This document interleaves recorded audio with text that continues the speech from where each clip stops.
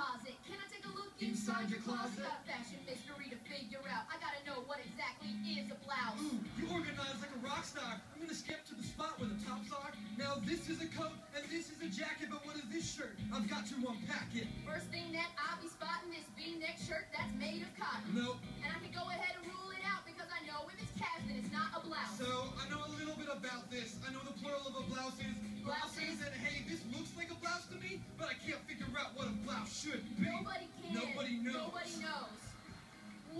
a blouse? Like what the hell is a blouse? I've been trying so hard to figure it out.